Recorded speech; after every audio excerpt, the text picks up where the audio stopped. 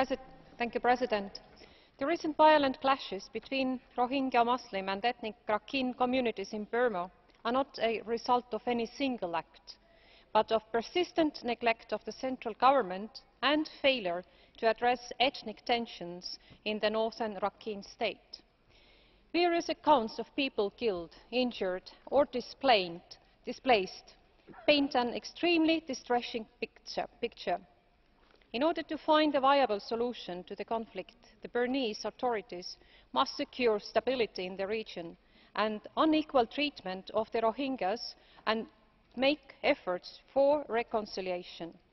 recognition of rohingyas as an indigenous ethnic group would contribute to starting a constructive dialogue. an open and democratic society can be recognised essentially by its treatment of minorities.